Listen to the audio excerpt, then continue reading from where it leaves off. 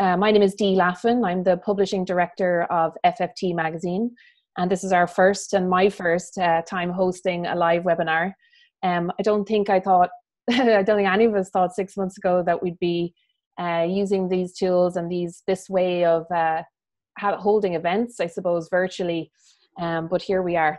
Um, we felt that uh, as you know, we're Ireland's leading hospitality title, uh, the official publication of the RAI um, and right now we're coming up to a very important uh, milestone in the rephase and reopening um, from the government. Um, June 29th has been set as the date that cafes and restaurants can reopen. And with that in mind, now is the time to discuss openly between us as an industry. We've always had great community strength, and we've seen that now more than ever over the last few months.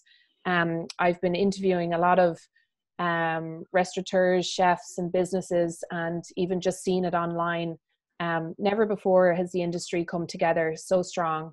Um, we know it's the industry is at a critical point, but there are initiatives, there is adaptations of businesses so quickly, um, and also people doing charity work, feed the heroes, raising money, f- fundraising, whatever they can to stay busy, to keep the business going and to stay strong together. Um, and I think that's been really important. Um, as the a month away from that date, I suppose a lot of people are asking, can they reopen? Um, what's that going to look like? Is it possible? What's the future for the restaurant industry in Ireland? Um, you know, for cafes and restaurants, small, large, social distancing at two meters, um, still still being negotiated, and we'll have updates on that today. Um, so, with that in mind, I'd like to welcome um, our panelists. Um, I have John Healy, who's the general manager of Suesey Street. Hi, John. Thanks for joining us. Hi, Dee. I have Bríd Torrades from uh, Osta Cafe and Wine Bar and Osta to Go in Sligo. Hi, Bríd. Hi. And Adrian Cummins, the CEO of uh, the Restaurant Association of Ireland. Adrian, thanks so much for joining us. Hi, everybody. Um, so, okay, we're just going to kick it off. First of all, I'd like to touch base with Bríd and John first, just to get, uh, I suppose, perspective on how um, COVID and the lockdown has affected your businesses. So, John, maybe you could perhaps start off. I know I've spoken to you briefly myself, but you know, from your perspective as a GM, Suesey Street, such a busy restaurant in the center of of, of the business area in the city center how has has it been affected and, and, and what, what is the status at the moment? Um, it, it, actually started uh, for us in february. Mm-hmm. um, i noticed there was a huge drop off uh, in corporate dining and corporate entertaining. And basically because when uh, things started getting bad in china um, a lot of the international companies here who use us especially the tech companies they wouldn't allow their delegates and delegates refused to travel um, into ireland not because Ireland was a, was a, a center of the COVID, but because they were afraid to get on, on airplanes uh, because it, it, began to spread slowly. I remember I was on holidays uh, in February and I was watching the whole um, episode sort of like developed from China and watching it come over to Italy and what was happening. And I was following it, following it in great detail and realized when I came back from holidays that this was going to be a, a crisis, you know, a world pandemic. Um, not using those words because they were all new words to us by the end, middle of March. Mm-hmm. But um, it, it, suddenly um, uh, uh, on Thursday, the uh, it was the 13th of March when Leo made that announcement it was uh, it was just everybody went for the hills. We closed on that Saturday night, uh, thinking it was only going to be two weeks, and thinking that we'd be back to work quite shortly. Knowing deep down, I knew this was going to go on for a long period. So, you know, anyway, there was a blanket shutdown uh, for two weeks, and uh, um, that was the beginning. So when we when we got the, the word that we uh, cafes and takeaways could reopen, um, restaurants suddenly um, got their uh, innovative hats on because during the close down lockdown period, during a closure, there are still utility bills and rent and rates that need to be paid. And mm. with the short margins that restaurants have, and everybody knows this, that there were really a lot of places and a lot of businesses don't have a cash reserve and don't build up reserves in case of these kind of things. So we literally go hand to mouth from month to yeah. month. And that was a problem because uh, there was no money coming in. Now the the government really took, took great care and set up the COVID uh, unemployment uh, benefit and the the illness benefit scheme for COVID uh, very efficiently and very quickly. And I know Adrian and the RAI were very instrumental in making sure that all the members knew exactly what was going on, and this was changing hourly for the mm-hmm. first two weeks of what staff were getting. But uh, in regards to the business itself, there was nothing being done. So you know, being creative restaurateurs that we all are, everybody started doing changing their businesses to uh, um, either a delivery or a click and collect at home service. Mm. But that must have been a big um, must have been a big uh, question for yourselves. I mean, fi- can can you do the fine dining experience at home? It was the the biggest learning curve I think I've had in this business since college. Yeah. You know how knowing myself, of course, that fine dining food and sort of like high end food and sort of like gastro food uh, doesn't travel. You know the reason why Thai, Chinese, and Indian food travels and does a lot of takeaways is they can travel and pizzas can travel, but everything else doesn't. By the time you cook it and send it home, uh, it's going to not look good or not taste good by the time it gets to your table. So we got very innovative in how we did it. So it was either going to be uh, par cooked or fully cooked and chilled and then reheated at home was the only way you could do it. And it had to be deconstructed and served in a, in a way, especially when you're trying to uh, keep your branding going and keep your image going, it had to be done in a certain way so that it looked sort of presentable when it got to your customer. And uh, we put a lot of thought into it and a lot of work into it, and making sure that the takeaway boxes that we do and the delivery boxes that we do uh, gave that kind of restaurant experience. And I wanted to yeah. put a bit of personality into it, so it didn't feel like a Chinese or an Indian when it got to your house. And we were charging for it. We were charging thirty five per person for you know a, a yeah. three course meal.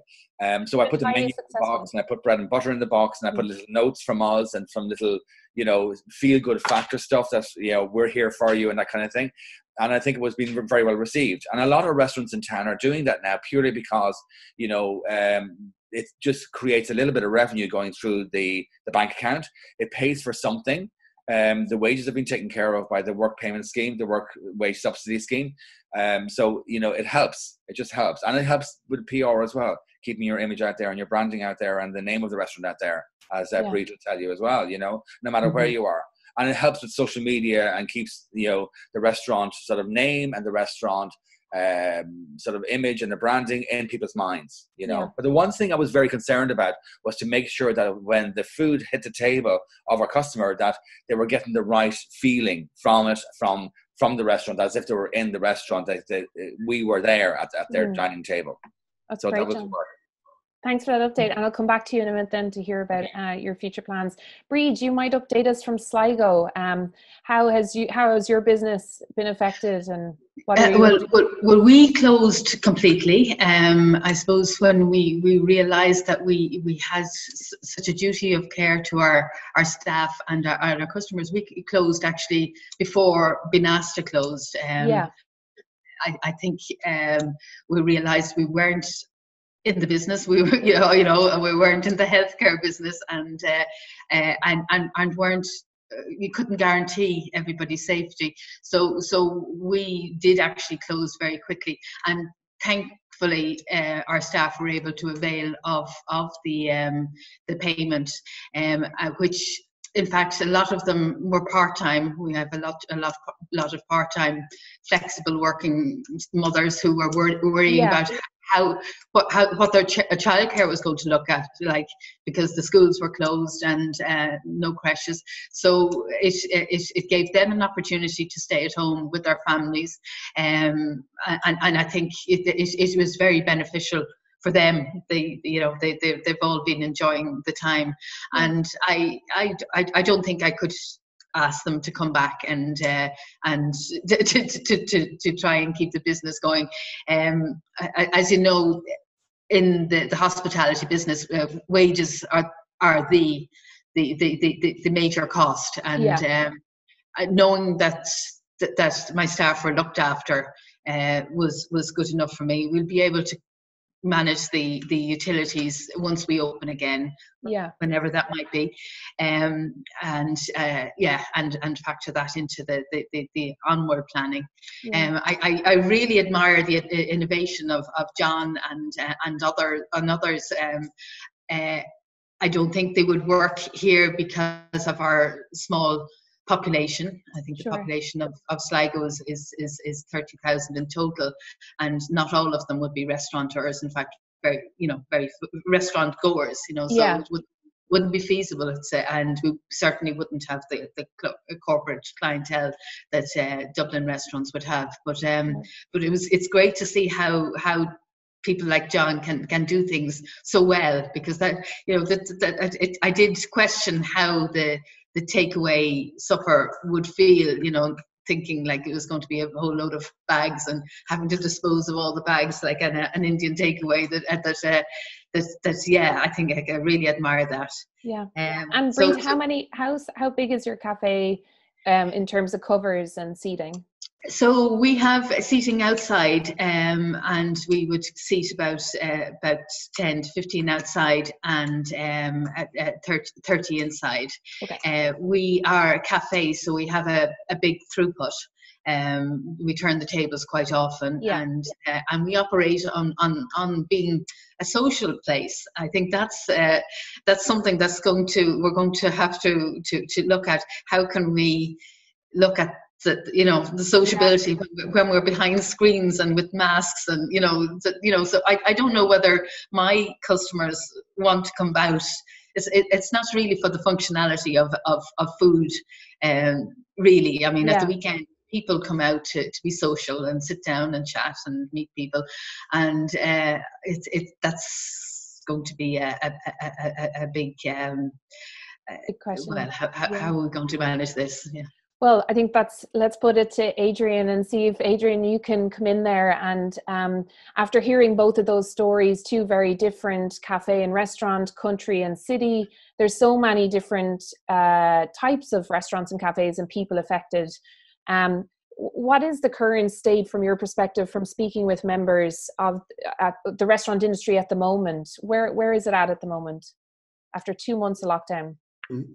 after, as you say, after two months of lockdown, um, I think people are starting starting to look at a chink of light at the end of the tunnel, Yeah. which is we have a reopening date of the 29th of June, of June, which is 32 days away. It's very short when you put it into the grand scheme of things. And I think a lot of people are starting to figure out, and you know, will I reopen? How will I reopen? And do I want to reopen? Yeah. Um, so with regard to reopening, let me just get straight into it. The we want these guidelines out into the public domain as quickly as possible. Fáilte Ireland have been given the uh, role and responsibility to develop the guidelines. Uh, we very we we as the Restaurant Association of Ireland, vintners, hoteliers, we all have our own subsectors within it. So the guidelines, Yeah. cafes and restaurants, will come from the, the RAI input into it. hmm Certain parameters that it's non non-negotiable, which is the two meter, one meter. We can talk about that in a, in, in a 2nd Mhm. I would expect, and I did expect that they were going to be issued this week. There's a bit, there's a there's a toing and froing at the moment because of the chief medical officer's comments, cabinet, and all of that. So I would hope that we will have it out by tomorrow. If not tomorrow, it'll be Tuesday. Okay. Not for the the, the, the lack of work that's been put into it by the officials. I, they're working around the clock, and I have to say, you know, if I ring, I'm getting texts at eleven o'clock at night and seven o'clock in the morning from Yeah. officials that are working on these things. We don't have a major input into it because if- essentially it is they're going they're going to develop it, show it to us, and we're going to say, yeah, that that works, that do, that doesn't, Right. and we'll try and get something that's practical for everybody. But we don't have the final say. The health officers will have the final final say, and the Department of Health. So that's that's with regard to the guidelines. From an industry, it's it, you know, I think we did the very we were very very responsible from the from the get go. Uh, Bridge and, and John and every restaurateur, we were the first. I remember that Saturday we were the first to actually you could see it on social media where we were putting our the, the, the health of our staff and the health of our customers first and we volun, voluntarily closed down Mm. and right across the country Yeah. and I have to say you know when the history books are, are written there, there should be a chapter in there for what our sector did and we weren't told to be, we weren't brought in to be told to be to be closed down. That's the one thing we weren't told. Yeah. So we did it right. Um, these are challenges. There's going to be huge challenges, and what I can can actually confirm is that there is good good soundings around the continuation of the wage supplement scheme. Okay. There is um, a realization that hospitality is the worst hit sector of all, and we're going to find we're going to find it very difficult to restart, reboot, get get ourselves going. Um, put just put it into a scale of numbers.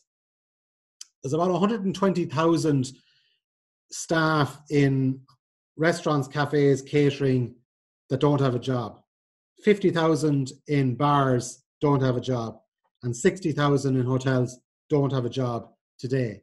So that the scale is just magnitude on it. And our responsibility in the RAI, and it's not just me, it's it's the entire industry, is to get get our message through to politicians locally, nationally. We need help and we need support, and uh, we're waiting for the next government to be formed before we can see kind of those supports coming coming on stream. Okay. And that's kind of very much a synopsis of where we are, uh, Dee, at the moment. Um, and if there's mem- if there's restaurateurs listening in here, we're here to help you. Whether you're a member or not, pick up the phone or send us an email. We'll try and help you some some sh- some way or another. Try, try and get us get us to reopening on the 29th and get try and get our industry up and running. Yeah. Um, just a couple of questions coming in there. I think it's good to address them now. Um, the first one is Do you think it's likely that the government will reduce social distancing from two meters to one meter prior to June 29th? I suppose that's a burning question and one I know that it doesn't seem at the moment that they're budging on. So there's there's a lot of pressure on from a lot of quarters, and the RAI have put a lot of pressure on cabinet ministers uh, to raise this issue about the two to one. And the, why it's two to one, and it's one because it's the WHO guidelines. Yeah. And as we have said, we went into this in WHO guidelines, and somewhere along the journey, we've now established an Irish guideline that's different to Austria, Norway, Finland, Italy, France on the on the on the one meter on the one meter. So obviously the chief the chief medical officer, his word, like he's God at the moment, and Yeah. he's running he's effectively running the country, and the government have to take are taking his advice.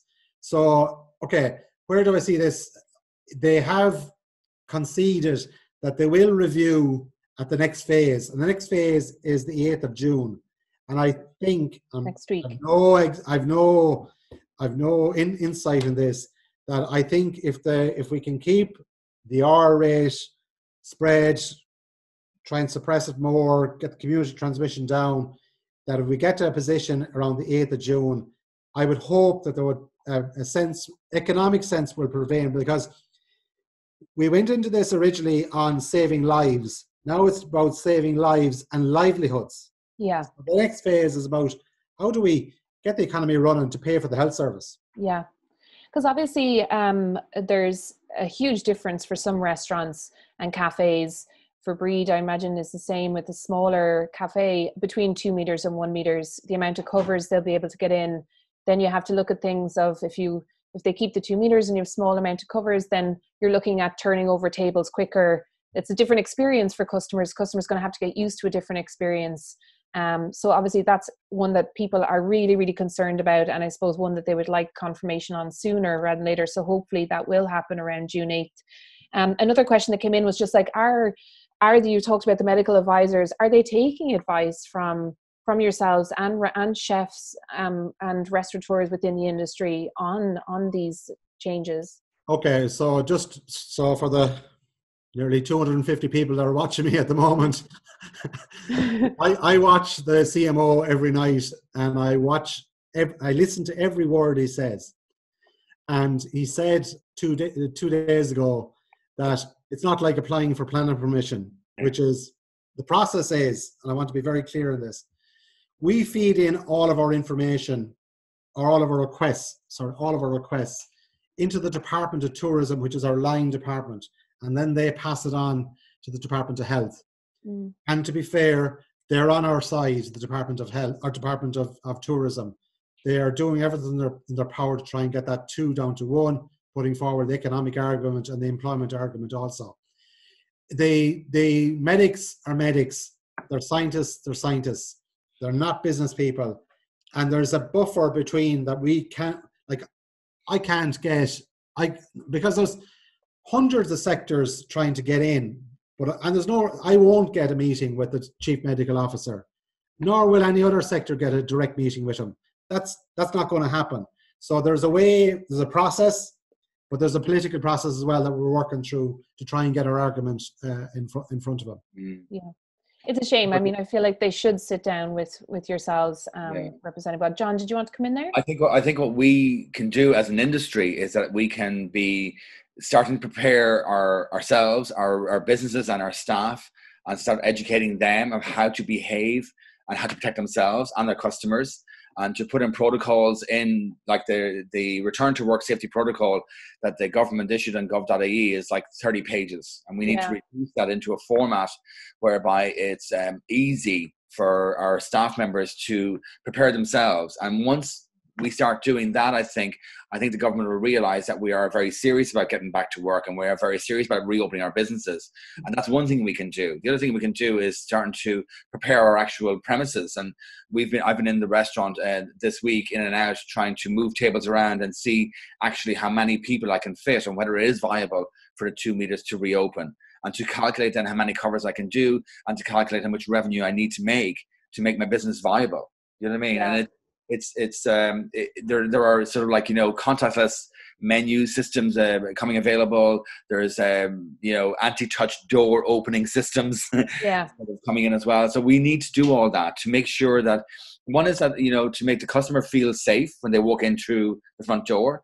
That there is a hand sanitization, there's a facility to wash their hands, and all that kind of stuff, and that staff are are protected as well. So mm. all of that needs to come into fore and you know it, it has to be done in a serious and responsible manner as well yeah and what else do you are you thinking about in terms of if you're thinking about reopening Suesey Street with staff? I mean, I know that you were speaking to me about an app that you're developing. Yeah, it was a well, all staff have got to fill in a form that they're a return to work form, but the the amount of forms that they have to fill in. So I've been working with um, with csafe.ie to produce an app that you literally send it to the uh, employee's phone and they go through the questions and you can't get your qualification at the end of it until you know all the answers. Mm-hmm. so it's like educating them of how to behave and work and what sort of like guidelines they need to have to so they can actually go back to work properly. And they, it's yeah. really a retraining process really. It's kind of like an introduction uh, to a, a safety program whereby they can feel safe going back to work. Yeah because obviously um, it is that thing of people being out of work for a while now going back there's and and going back to not normal you know what the new normal as we're calling it now you know learning how to work within that environment. For the first couple of weeks and definitely for the first couple of weeks after we after opening happens everybody's going to be so nervous and everybody's going to be so kind of like you know either they are or not and they we have the choice whether we need can go out or not. We're still going to run our takeaway and delivery service alongside the restaurant because we have to because it's a, going to be a continuous re- revenue stream whereby you know corporates can even use it to send it to their clients. They don't have to go. People don't have to go out, but still, if people want to go out in society and sort of get try and get back to normal, they have that choice, and they need to be able to do it safely. Yeah, I think you know? definitely. Um, Bree, did you have a comment there? Or? Yeah, I just wanted to get to pick up on the uh, the, the, the distancing and the, yes. the uh, uh, yeah, I, I understand that it's it's only a temporary measure having the two the two meters. At least mm-hmm. I, I hope it was only. But that's I think that has to be made clear. I think that uh, the problem is that the chief medical officer, as Adrian pointed out, is is just that. He's he's he's a medic and he's in in that field, and we are in the hospitality field, and uh, are we uh, we will uh, would like to know what way we can make our, our, our customers feel welcome and relaxed in the surroundings and to do that we're going to have to do make structural changes and and i think the question is uh, now's the time to do it while we're closed um, are they temporary in which case, uh, you know, ball of string it'd be fine. But but but if it's long term, we, we have to look at that. And uh, so so I think that's it's as Adrian pointed out, the chief medical officer is very busy, um, and and uh, uh, probably not not even considering our point of view on that. And I, I think that's just uh, uh, something that if, if, if, if anybody has could put a word in his ear that way, he might start thinking in, in, in our direction. Um, and uh, uh, well, yeah, and then again, the staff getting the staff back ready as well. Mm-hmm. Um, I think it, it, it's a huge body of work. Um, I, I, have started meeting my staff now, and um, although we, we probably won't, we, we, well, we might open for takeaway before in the in the next week or so. But it's it's it is it's um it's a difficult job. Yeah. it's you know there's a lot to it. I can imagine. And Adrian, a, a, point there in terms of, I suppose, like for Bríd in, in a local, um, a, a, rural area or, a country uh, town, um, like Sligo, the local councils, I've heard um, talk of Cork County Council, the network being formed there, people talking to them to try and get use of outdoor spaces. Uh, a question came in around that in terms of, you know, will local councils waiver outside licensing fees and charges for outside dining if outside dining was allowed? So that's a very good question. Um, we put forward the argument about a month ago that outdoor space, public outdoor space, that local authorities have control over. They would waive the the um, the red, we'll call it the red tape and the any license fees, but they would do it on a structured basis uh, to to open up space, especially during the fine weather and during the, yeah. during the summer, and to allow outdoor outdoor dining um, and have a kind of the European continental cafe style uh, appeal to it. That could be extended into the next into next year or beyond. But that has to like it's it's it's grand where you have certain local authorities. We want every local authority to do this. So we have been in contact with the minister uh, with the responsibility for it. It's it's it's been worked. We'll call it. It's been worked through the system that a diktat will come out to all local authorities to say, okay, roll up the sleeves, engage with businesses, and support them, and try and help them as best they can. Yeah. Um, um, so and even down lo- locally in your own in your own areas you should start to engage with your local county councillor to get them to be a champion of this initiative and see can you work it from the local level up as well um, I just saw a couple of questions there, Dee, that are just kind of the rapid fire. I want to get through them. Yeah, no problem. VAT, uh, obviously, we're looking for VAT to be reduced. It'll be the next government that will come in. Nothing into nothing doesn't go. Yeah. So what we're looking for is a VAT of zero percent on uh, food. Uh, there's a technicality around the European Union whether they'll allow that. But we're looking for zero uh, as our as our opening opening base on it. Have they come back um, to you on that and any any sort of discussion around it? I mean, Leo Varadkar came out said he's not going to change the VAT. Well, he's he, he, he, there'll be a new government going to be established, sure. so it'll be up to them to okay. change that through legislation. So it's all every other political party wanted it. So I'm presuming his coalition partners are going to not renege on what they were looking for. Um, just moving on on uh, commercial rents or yeah. commercial rents and rates. Uh, commercial rents. So big, uh, big um, problem in commercial rents at the moment. Landlords looking for rent for businesses that are closed. Yeah, cash burn, all of that. There has to be a burden. It's called burden sharing. The banks have to have a part in this. The landlord the state, and ultimately the tenant as well. So France have done it, where you have everybody takes a cut, and then the there's also the tenant has to pay something. But otherwise, you're going to have a domino effect, effect um, where certain businesses just won't be able to pay their rent. There's a knock on then landlord can't can't pay the bank, then the bank moves in on the landlord. So there's a there's, there's we're looking for burden sharing on it. Yeah. Um, just on the app that uh, John Healy mentioned, the Return yes. to Work app, once we have the guidelines in place, we'll start to roll out that app to our, to our membership. But until we have the guidelines, we're not going to do it. But as soon just, as John, what was the name of the app, or is there a name for it yet? Someone had asked. It's in by csafe.ie. There's actually a, a, landing page on the website at the moment explaining what the app is all about. Okay. We can share that information on social media after this as well. So yeah. just anybody listening for that. Um, I had a note, we had a note as well, just um, it's worth noting to all restaurants, hotels, cafes, or um, SME businesses that have had to close due to COVID 19. Gas Networks Ireland have put in place the COVID 19 supply, supply suspension scheme to help SMEs, and this can be arranged through your supplier. So that's an important note from somebody there.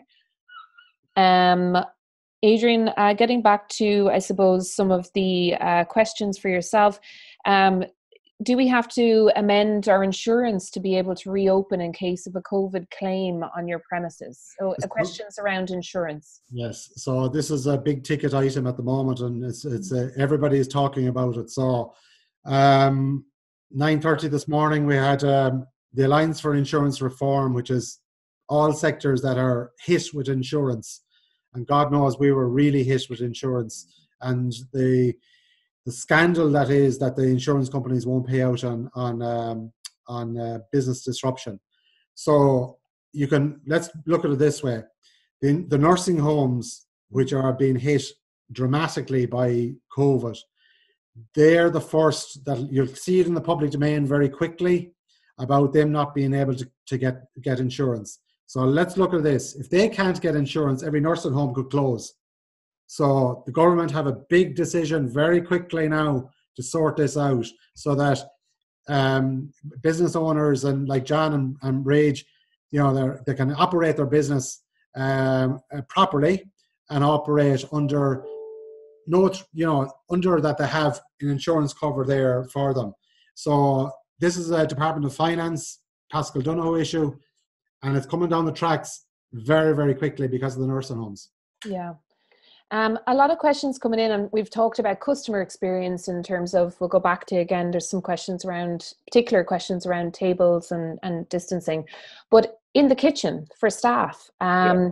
we have uh, first of all, actually front of house, we have a question whether somebody should put up the um, the the the perplex, perplex uh, glass screens before the 29th should they be going up before the 29th i think uh, i think you know we can see at the moment like all the supermarkets and all of the um, sort of pub premises that are open at the moment are, are implementing and putting up perspex. Yeah. I need to i'm looking at contactless that word contactless menu ordering when you walk yes. into a restaurant will be sent to your phone and and payment. You can pay on your phone without ever having to go near anybody. Um, so staff don't need to have to go and take your order. We can stand at two meters from the table and talk to people um, yeah. with social distancing so that it is there on your phone. Um, but premises like that people that can't do that they, they will need to protect um, staff whether they wear masks or not. Um, and i think that probably protocol will probably hopefully will change as we get further into July and August. Yeah. You know, at the moment, they do need to whatever they can do. I would do. Yeah, and we then demonstrate to the government that we're actually quite serious in protecting people and making sure that we do stuff properly, not to wait for them, them to come and tell us, okay, you know, we need to be active now. I think yeah. well. Well, the message needs to go out to the government as a as a as a community, Absolutely. as an industry. The message yeah. needs to go out to consumers to make them yeah. feel safe, so that they will go out and eat. Because there's been loads of questions about whether people will actually return to restaurants. Yeah. And then there's also the question of staff, so that they're comfortable to come back to work. There's so mm-hmm. many different parts of of this puzzle. In terms of staffing, again, um, I'm not sure John or Adrian or Bridget, whoever wants to take this, just let me know. Uh, given the proposed social distancing, um, it'll probably mean that in a kitchen where previously there might have been 10 chefs or whatever number of chefs, yeah. there's now going to be half that. You oh. know, how, how are we going to, in terms well, we have to change our menus according to what we can do with mm-hmm. reduced number of staff in the kitchen. I can only allow three, maximum four chefs and people, including a KP, in the kitchen at one time to in order to ensure that they practice social distancing. So I'm going to have to reduce the menus for them to be able to cope with what they do. Mind you, we reduce number of covers as well, so it should balance out in the long run. Do you yeah. know what I mean? Yeah. I've heard of some chefs speaking to me about that they're, you know, looking at having different teams working at different times but what that means is then extending the the the working day to almost I don't want to say 24 hours, but chefs coming into prep in the middle of the night and then another team you know cooking it during the day. Adrian have you heard of of people talking about doing that or are you worried about this driving up the amount of hours for the industry? Um, i haven't actually heard about this you know chefs coming in in the middle of the night prepping and i haven't heard that um, i think the way that first of all it's going to come down to economics at the end of the day mm. business is going to have to figure out what's viable for them to function as a business so it'll be it, as john quite rightly said and i'd like to hear Bríd's comments on this as well will it be a more limited menu mm. uh, operating less staff and the Breed is very correct you know our payroll bill or a wage bill in our industry is higher than other sectors. Mm. So you're probably looking at a 34% uh, percentage wage cost yeah. versus in retail it could be about 18%. So like we we're we're, we're labor intensive. Um, so I think people are going to have to look at how do they, you know, are they're going to have to look at cutting costs. Mm. Um, because even if you go down to one meter you're operating on about a 66% capacity of your business. Mm. Uh, st- I stand corrected, mm. but I think you'll be pushing it to 70. So you're 30, you're 30% down already. Yeah. So, um, but I, will hand it over to the to the to to to, to John and Bridge on this. Yeah the biggest problem I have at the moment is not the restaurant, it's actually the larger parties. Of anything above a six, and like most restaurants make their revenue on large parties and group bookings. And mm. I make a lot of um, sort of a lot of my revenue comes from corporate bookings as well. And we have a private venue next door.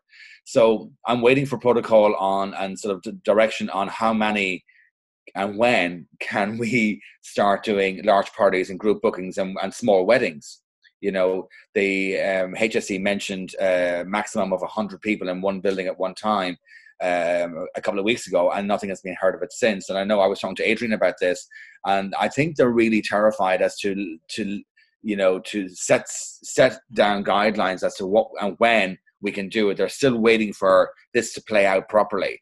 And I know I've got brides and uh, waiting, brides and bridal parties waiting for uh, August, September, and October to go ahead and book their and make their reservations and make mm-hmm. their wedding reservations. And I have weddings that have already moved into next year, but these are weddings that were supposed to be in Spain or France or wherever have you, and are cancelling the wedding abroad to have it at home. So there's a lot of waiting going on and a lot of sort of unsure sort of um, sort of answers, you know, to happen for before we can move forward. Yeah, Bree, did you have a comment there on on that as well? Um, yeah, yeah, I think um, oh well reduction of tables is going yeah. to our tables are going to be at a premium you know so people are going to have to plan. Yeah. Uh, we we never take bookings. Um, i don't know how we're how we're going to manage that um, uh, because of our, our, our fast turnover of tables but but now tables are at a premium. We're going to have to reduce our menu um, our, our offering. There's um, so um which is actually great.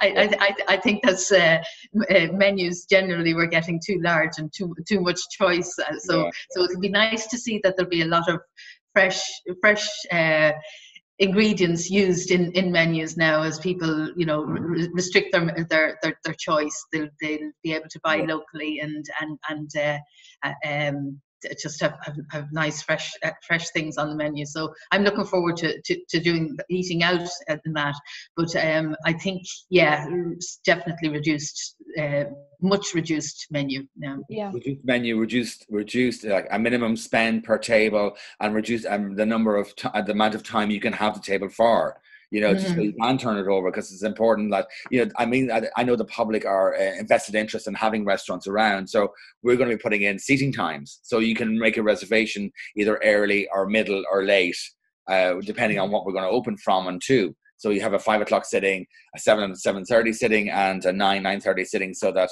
you know we can turn turn those tables. And you can't have more than four people at one table. That's another guideline as well. Yeah. So but how are you? Uh, my question, I suppose, would be as well in terms of whether those people live together. Uh, so a family coming in, they can all sit beside each other because they live at home together how do you prove that they're all related to each other i mean So- are people going to have to bring their marriage licenses I hope not. their their leases to show that they live Yeah, together that's why we need. That's why we need more guidance. We will Yeah. need more guidance throughout the month until we, you know, we get to sort of date and until we come to the date. There will be more um, guidelines, I'm sure, coming out. And you know, with regards to large parties and weddings and all that kind of stuff, that has to be clarified. And you sure know, every, everything happens so fast. Like we close down, and it happens so fast. I think when we reopen, and once they realize that, you know, and I, you know, they they they, they chief medical officer and the team and the government and Leo and Simon Harris, they've done an amazing job in protecting the country and everybody in it, and they've done an amazing job of containing this virus. I think we also need to. They also need to be realize that we need to reopen now. But we need to trust them as well, I think, to and push them to a certain extent, but trust them that we will make the right move at the right time, you know. And I think they're realizing as well that they're possibly maybe going too slow and that we need to do it a little bit faster. But I think there's caution needs to be exercised as well. I mean, a lot of restaurants have made the decision not to open until July, and a lot of places are going to remain closed until you know they see it going happening properly. You know, Well, uh, that lot is of- the choice each, each individual has and each business owner has to do that. You mm-hmm. know, yeah if they can't open with a two meter distancing, they might as well stay closed until the middle of July or until the first of July. Yeah. We have a lot of health and safety questions coming in in terms of for staff and for customers. So, for example, do we envisage temperature checks at the door for staff and customers? And Um, also on just also on that on COVID training for staff. What about having to train staff members to be COVID compliance officers? Considering it's now a requirement, should the government not be paying for this training and giving us guidance on how to use that? Mhm. the uh, a lot of the um, the training and uh, and the COVID compliant training, uh, the the induction for, for safety program is in the uh, that program that I was doing. Yeah, Um, if there's more advanced sort of um, COVID training, I think that mm, it's a more medical kind of thing than just a, a regular, you know, waiter in a restaurant kind of thing. Adrian, have you heard anything on that and whether the government are going to cover compliance training? No, is the answer. Uh, Yeah. It's not a discussion. I haven't heard uh, them going to cover any cost on the compliance training. They haven't done so to date, but I, I haven't heard that they will. Um, on the temperature checks of staff in the workplace, return to work protocols, Mhm. uh, if memory serves me correctly, there is a, a uh, temperature check in the morning, or they have to Yeah. they have to say that the so that that's the work the return to work protocols is for all workplaces. So that's my understanding. We're, we're going to be treated no differently to any other parts of the economy around return to work. It's important that people look it up online and get get to be au fait of with it. Um, uh, with regard with regard to that. Um, The return to work safety protocol document, that massive document that they publish is on gov.ie, return to work safety protocol. So the information is all there. Uh, if anyone wants to have a look at it. Can I just uh, make uh, just a comment here about um, Yeah. there's other parts of the hospitality we'll call it industry that's going to be really effective. Obviously, suppliers are being affected, Yes. and they've been very good t- to date. Um, you know, but you know we have to support our now more than ever. We're going to have to support our local local suppliers, and that's going to be, you know, we're going to have to kind of a, a national solidarity around this that we support local and help each other as we go, get through these phases. Um, other areas around education, I just see that there's going to be a total transformation of training, uh, education. Uh, every, everything is being done online now, so um, I don't see, I don't, I don't, I don't know how apprenticeships is going to fit into all of this as well. Yeah.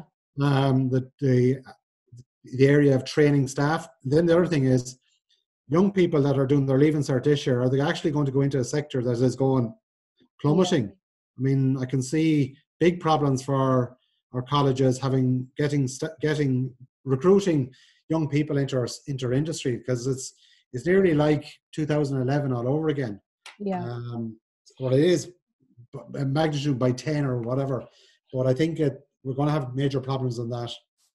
Is the RAI planning on, I suppose, then rewriting a lot of you know the recommendations and policies around different things for example and and creating lists of people as a go-to. I've had comments here from people asking whether you know will the RAI be, RAI be able to provide a suppliers list for the screens and other materials that people need to reopen along with the guidelines. We have a, a list of all the suppliers that have come to us already on our website so rai.ie you'll be able to see list of suppliers that they're already providing screens. But before anybody starts spending money on screens, Mm. wait onto the protocols Yeah. because don't be throwing good money after bad. But Yeah. I will give you a, this is a, a I got a text just there before we come on from a cabinet minister re screens. Perspex received positive review from meeting yesterday, i.e., with the CMO. CMO cited positive examples of use in retail settings. So that says to me that they're going to look at screens for our industry. So, from a front of house perspective, then there's a lot of questions as well coming in, in terms of like, you know, will some people be able to put screens around tables and then therefore a waiter or waitress will be able to stand closer to the table to take an order? How many staff will be allowed on the floor? When are all those questions going to be answered? So there will be those questions, those the answers to those questions will be in the guidelines. Okay. And some of those answers, if it's not in the guidelines, you don't have to worry about it. Yeah. So effectively, don't if you if you don't read it in it, don't worry about it. That's the way I, I see it. And then with regard to to waiters presenting, obviously the medical advice is you should not be within two meter distance for more than ten minutes. So if you're delivering to a table for more than ten minutes, zone. I mean, if you can't do that, there's something wrong. So I think don't you have to you have to look at what's been said already from a medical advice point of view and interpret it that way for operation your business. Yeah. So Yeah. I saw a video in Holland, people firing stuff. Yeah. Yeah. That caused total consternation because Yeah. it's not accurate. and also um i suppose from that perspective you know with uh, staff out on the floor and and everyone has to make their own decision for their business. Um john you were talking about contactless um in Yeah. terms of the experience but also Yeah. obviously we have contactless payments. Um someone had asked a question on cash payments. You know some smaller cafes and supposed would be have people who would just drop in and be more reliant on cash payments. Would a restaurant be interested in installing a customer facing closed till that when they can take a cash payment but the staff don't have to handle the cash the amount of i mean um, Bríd might be able to do the tell you more about the ca- uh, cash than i can because most of our payments are done by card. Yeah. The majority of payments are now done by card. And in fact the last 10 weeks most of the shops and supermarkets and anywhere you went won't take cash. You have to do it by contactless card Yeah. payment. And you know with the wallet on, on most iphones everybody can actually avail of that.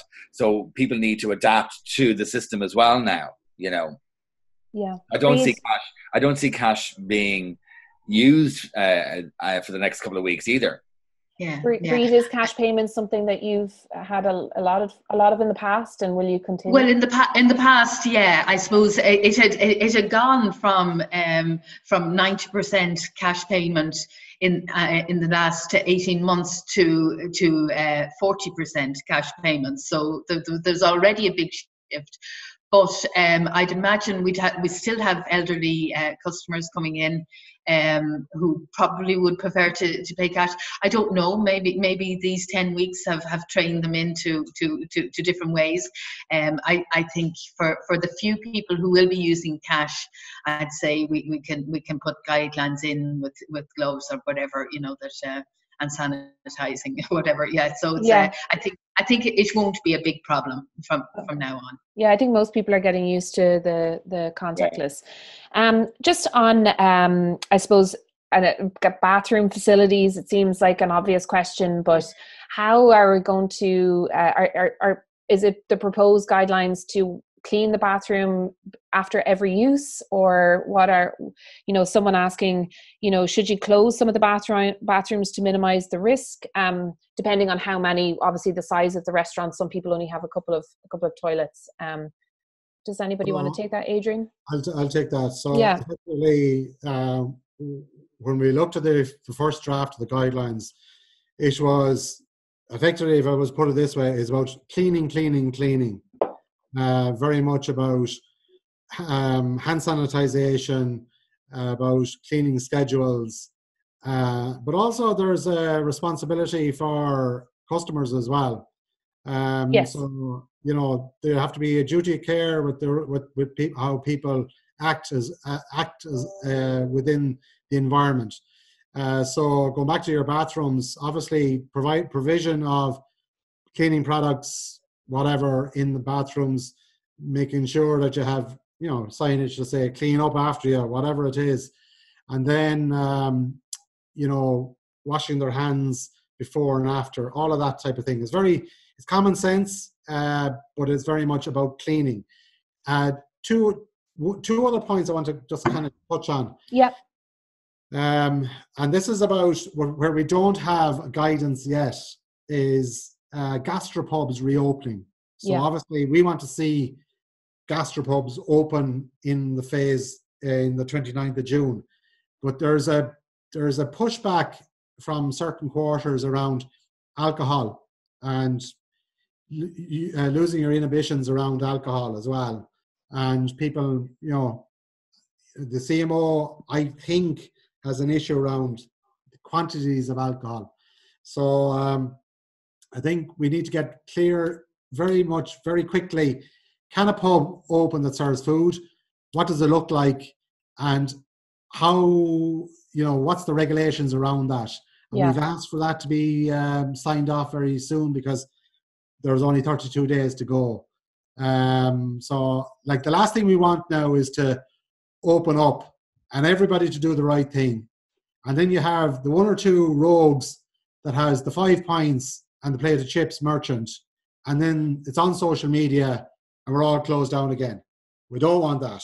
I mean, that's we have to be very clear around it. That's not that's not where our industry needs to go. And I'm I maybe I'm talking out of tune, but that's not where we need to go. Yeah. Um, if if Definitely. we're- I think I think owners have got and managers and owners of pubs, licensed premises, and and everywhere else needs to act accordingly and responsibly to make sure that everybody is that we maintain safety first, that we protect ourselves, our customers, and our staff. You know that has to be first and foremost. Yeah. Um, there's a note there from somebody just to say that growtraining.ie have some well-priced training courses for in compliance as well for staff. Um, and Adrian, just a question for you in particular.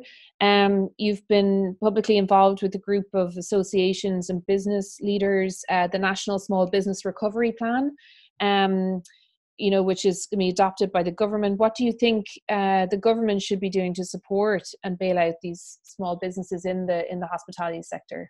So I see there's over 200 people watching us at the moment. SMErecovery.ie. That's your next thing you have this. Log on and get involved. It's for all businesses, all small business. And what we want is that small business is recognized in the next program for government and we're supported. The European Union have it's called it's a trillion, whatever a trillion uh, euro um, uh, fund available and we want Ireland to access that money and give it to small businesses that have legacy debt that you can pay your suppliers, pay your rent. Uh, it's like a compensation fund, and then you get recapitalized into the future at low interest, like Ireland, as in Paddy on the street. Paddy has now figured out that the banks have been ripping them off because you can get a an S, uh, can get a European uh, loan at 0.5 percent, and the Irish banks are ripping us off at four and a half percent for the last number of years. So we want everybody in the country to try and get access to low interest loans of that that level from the government, and we take we move to the one side the banks, and we get what we're entitled to because every other country is doing this. Denmark are doing it. They're the leading light, social distancing, supporting their businesses, and accessing European uh, European funding. So SMErecovery.ie, log on and start supporting it. Amazing. I suppose um, just to kind of um, look as well for um, towards the future. I mean, you know, reopening happens in a month's time. You know, people reopen, not reopen, what that might look like. But what is the future of the restaurant industry after this, after the pandemic? What do you see it uh, happening, Adrian? Um, what do I see? The, well, the like future, six months down the line, a year down the line. Okay, so we want every business to be able to reopen. That's what we want. That's what we want. Um, it's going to be difficult, and everybody. We've had this conversation already about wage costs. I think we're not going to come back with everybody in our teams. Let's be honest about that. Heart and heart, I don't think so. Uh, but we need to start somewhere and start to reopen and get be able to viably run our businesses. Uh, we need support from the government, and then we need to start to, this whole journey back to where we are. So it's going to be uh, um, an economy that we're going to be dependent on the domestic our dom- domestic economy for the next 12 months Yeah. until we get tourism back up and running and we get flights back in and bring people into the country. But it's going to be tough, and it means everybody needs to put their shoulder to the wheel. And now more than ever, we need to unify around team restaurant, team hospitality to contact our local politicians and make our voice known collectively, not under one organization, but individually as business people. Ring your local politician and see what are they doing for you. That's what we need to do. Yeah, definitely. Um, Bríd in Sligo has has has the kind of network of of restaurants, cafes there. They um, or the Sligo Food Trail kind of come together, kind of approach the local council uh, for guidance or advice or support at this time? Uh, no, not not not not yet. Um, uh, no, I think we're still waiting on on on what what the outcome is going to be on on Yeah. on on, uh, on the guidelines. I think we I think it's, it's that's critical to everybody moving on. Uh, I think, uh, but again, I suppose we, we don't want to move too too early. Um, we we don't have any. I don't think any cases of COVID in Sligo, as far as I know at the moment. We certainly have had no new cases for the last uh, uh, 11 days. So so we're quite confident of moving on, but um, uh, I, I, I don't think uh, we, we, do need those guidelines before we, we start talking to each other and find out what's happening. Yes, John, for you, um, do you have a comment there to finish up Oh in God. terms of the Where am I going to start and where I'm going to finish? Just stop. Yeah. First of all, I think uh, we all need to be, um, as owners and business managers, we all need to educate ourselves on what we can access, like the loans that Adrian was talking about. We also need to come together uh, through the Restaurant Association, where the information comes straight from government to the office and is, is sent out to all of our uh, members on uh, really on an hourly basis when it's happening. When things are starting to happen, we get um, emails and e-zines from uh, the Restaurant Association office as to what the protocols are, what the new guidelines are, and what the changing uh, sort of um, laws are really as they go on as we reopen. And it's important that uh, all members of the of the industry sort of tap into that, and that's what it's there for. And in fairness to Adrian and the team in the office, they've done an amazing job when we were closing down. Uh, they did an amazing job of making sure that everybody knew the information with regards to the unemployment benefits, and it was changing on an hourly basis. And they now they work the wage supplement scheme is changing on, an, on a we're on version 12 already and it's only a two week period that we've gone through the wage supplement scheme so the uh, they they've been very active in that um the um, with regards to reopening the restaurant, uh, don't spend any money until you're sure that you know what you're doing. Um, educate yourselves as in regards to the two meter distancing laws of by you can be in somebody's uh, presence for not more than 10 minutes in close contact. So serving tables is not going to be a problem. Serving coffee and tea is not going to be a problem. And we need to know that. Um, be as contactless as possible. Um, hand sanitization and cleaning schedules and reopening schedules need to be uh, explored and also need to explore your revenue schedules as to how we're going to reopen, how many covers do you need to do, at what price do you need to charge, and how much revenue do you need to make to be viable. Mm. Um, access your utility service bills. And and most of the large utility companies are being very proactive in giving uh, industry a break and giving people like either defer payments uh, low cost uh, charges at the moment bank charges have been frozen uh, mortgages loans and all that kind of stuff. We can access all that ourselves. And i think most people have done that. And you know if you haven't done it we need to be you need to be active in looking for it um, that's why uh, the Restaurant Association sent out all that information. Sure. Reopening is going to be difficult. It's going to be slow, and I think everyone needs to be patient in regards to reopening. Training is going to be a vital part to make sure that your staff know what they're doing. Ignorance will cause accidents. and Yeah. always does. And my thing is making sure that everybody is compliable, compatible, compliable, and that they look after each other. You know, um, it's important that happens. You know, and outdoor areas. You know, my attitude is send it outdoors, and if they tell you to stop, stop. You know, um, because that's probably the safest place you can be is outside. Um, and you know, and tread carefully. You know, cut your clothes according to your measure. Don't try to do too much before we can, and uh, it'll all happen eventually. You know. And I think it's really important to remember, as I've said, that and we've seen it with the industry over the last few months that we're all we're all in this together. Um, you know, ask your neighbours, ask your ask the RAI, ask for help, ask for support, ask your local council, anybody you can. If you're not sure, ask. Don't spend money before you think you should, and make sure you have your plan in place um, for what your business and your staff need and your Yeah. customers need. And speak Um, staff. And like the the wage supplement scheme is very complicated in relation to what staff actually get. They actually Yeah. get tax back first and all this kind of stuff.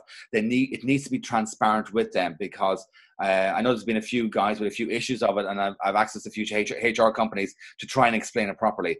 It's very complicated and uh, it's really quite difficult to understand the way they've worked it out, but it is fair, you know. We've actually we've had some really good um, information sent through on comments, so I think we're going to share that with everybody afterwards as well. Just other sources of information, Okay. um, and also there's loads of questions we didn't get through, so I'm going to um, make sure and get the panel to answer those, and we will send out. Um, if you're not subscri- subscribed to FFT's Daily Scoop newsletter, please do so. We'll have all of the the recording of this, um, our first live webinar sent out on that, plus all of our your questions answered from the panel.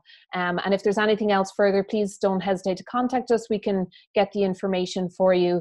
Um, this is our first live webinar. As, as Adrian said, the hospitality sector is big, so we'll be exploring um, pubs and food service and hotels and other um, areas over the next um, few weeks. So um, please stay tuned for more of that. I'd just like to thank everybody for attending today and also to our panelists, to John Healy, Bríd Torrades, and Adrian Cummins. Thank you so much. That was so worthwhile and so informative.